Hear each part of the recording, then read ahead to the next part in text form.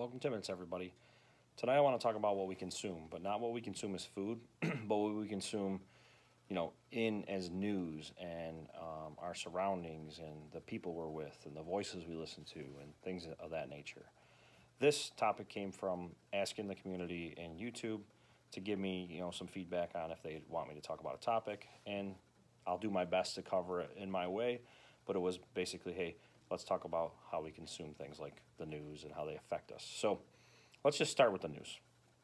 Ultimately, most of the news channels and the way that you know mainstream media pushes out information is it a negative, fear driving, uh, you know, just crippling, in my opinion, manner. They're very, very, very little focus on positive, good things, and they're very micro focused on everything bad that's happening in the world. You know, there's thousands and thousands of countries. What are we going to talk about? Only the ones that are fighting and bombing and doing things. Uh, there's tons and tons of things happening that are great every day. What are we going to talk about? We're going to talk about the shortages, the issues, the problems.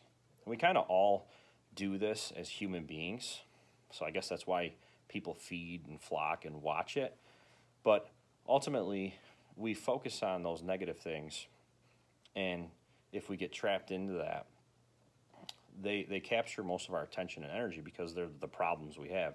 They're the things that have to be solved. They are what feeds our fear. But if you step back and say, well, okay, let's only do that to the things that we can control and deal with. Mainstream media and news isn't really useful for most of us unless you're really making big big impacts or you're influencing huge, you know, groups of people or you're in high levels of leadership in, in some big organization or government, all that stuff is really almost useless.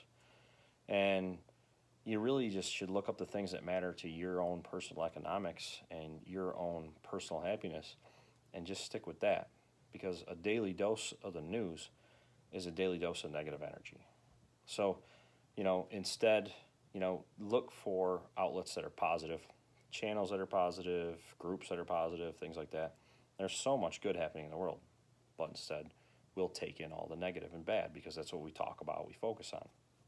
So another thing, another bad place uh, or a place that you need to be very aware of is, is who's in your circle. Who's, who's your tight circle of people inside of work, outside of work. Select them super wisely because they're where you get most of your inputs from if you have people who are Debbie Downers and grumpy and negative, they're going to wear off on you. If you spend most of your time with them, that's what you're going to turn into, or that's how you're going to think. You can try to combat it, you can try to overcome it, but you're always then, you know, the voices in your head you're not displaying and showing to people. The goal is to get the voices in the head to match the actions and what's truly happening around you and what your truth is, not hiding them, suppressing them, and still having them get louder because of the people you surround yourself with.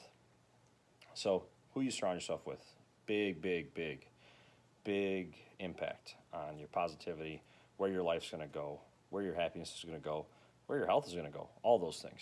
So, you know, as we look for ways to get positive, read a good book, um, understand what you can control.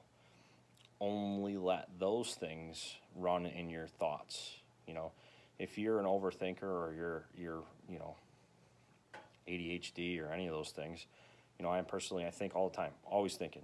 So it's dangerous for us because we can think about all the negative or we can think about all the positive. Uh, you can't ignore things that are issues or problems, but you can still think about them in a manner to positively move forward or to positively accept the lesson of a bad situation or a bad um, occurrence that happens. But at the same time, you could dwell, get stuck on it. It can break you. It can slow you down. It can make you not move. That would be applying like negative energy to it.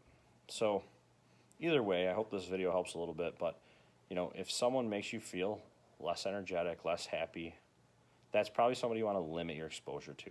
If something makes you feel that way, limit your exposure to it. If it makes you feel the opposite, try to have more of that in your life. Try to do more of that in your life and you'll find it'll help guide you to where you should be spending your time, who you should be spending your time with. And, you know, I don't know, try to be positive, try to be around and fix your environment so that what you're consuming is positive energy more than negative energy. Have a good night.